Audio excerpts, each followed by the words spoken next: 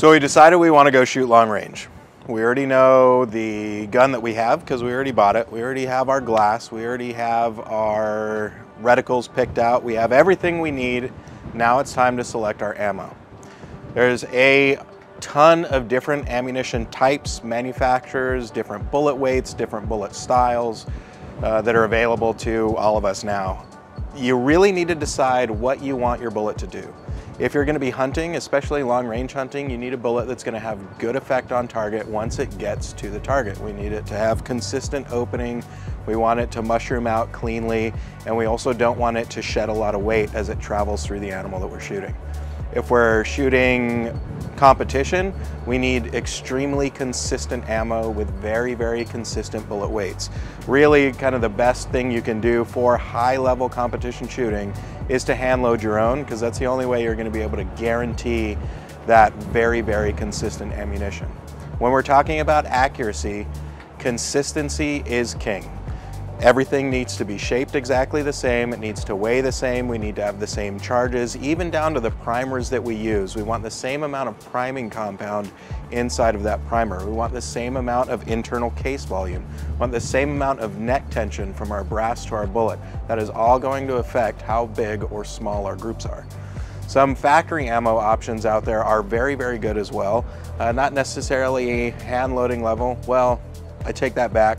Uh, a lot of the stuff that Hornady makes is actually, I don't load 6.5 Creed anymore because the Hornady match ammo is just as good as anything I can load. It's absolutely insane.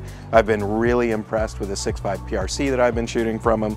They're very, very consistent when it comes to their match ammo. Now this is specifically their match ammo and their ELDM bullets. Their ELDM bullets are very consistent as far as the shape and weight goes, um, very consistent charges. It gives me everything I need to shoot accurately.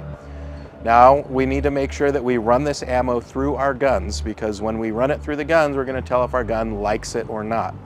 What we're talking about is when is that bullet exiting the barrel in the barrel's whip. So every time we shoot, the barrel is actually moving and whipping. We want the bullet to exit the muzzle at the peak of that whip. If it exits the muzzle while it's either rising or dropping, then we're going to see our groups open up. It's going to be less accurate and less consistent. As long as it exits the muzzle at the same point every time, which is usually at the peak, that's where we're going to get key accuracy. And we can figure out if our gun likes certain ammos and certain loads by doing things like ladder drills, and you'll learn more about those later.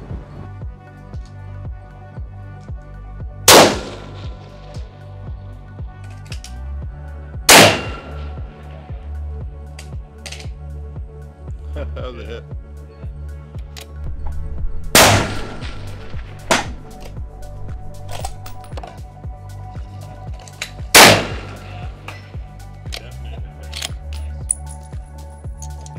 So ammo selection is very, very important. We want to make sure we have nice slippery bullets, so something with a very high BC. It retains its velocity downrange better and also helps to buck the wind.